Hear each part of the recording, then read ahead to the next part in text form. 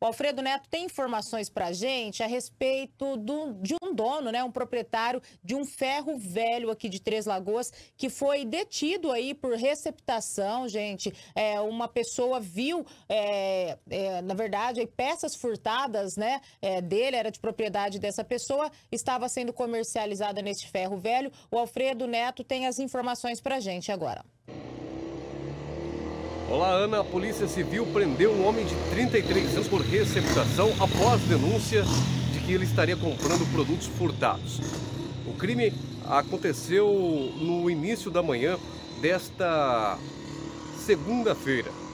Um morador da rua Crispim Coimbra, no bairro Jardim das Paineiras, acordou com um barulho no quintal. Ele que já havia sido furtado outras vezes, acabou relatando para os policiais civis que despertou após ouvir um barulho no quintal e observou que um homem estava rolando o pneu de seu caminhão pela rua.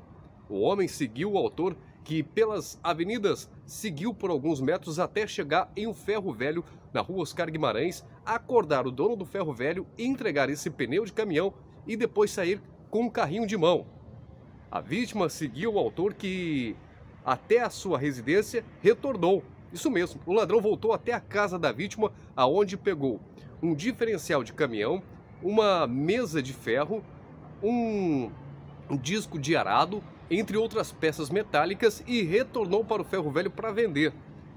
A vítima filmou toda a movimentação.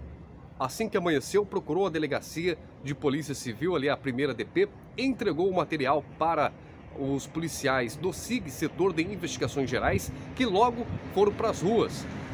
Os policiais foram até o ferro velho, aonde o proprietário, um homem de 33 anos, relatou que seria inverídica a informação que ele teria comprado alguma coisa furtada e liberou que os policiais entrassem lá para fazer uma busca. Assim que os policiais entraram no local, os policiais não localizaram o pneu e nem as peças metálicas. Só que os policiais receberam informação de que minutos antes dos investigadores chegar, ele pegou todo o material, colocou em uma carretinha e saiu guinchando com o carro, estacionou em uma rua paralela. De posse dessas informações, o Dr. Ailton, junto com os investigadores, foram até o local e constataram a veracidade da denúncia.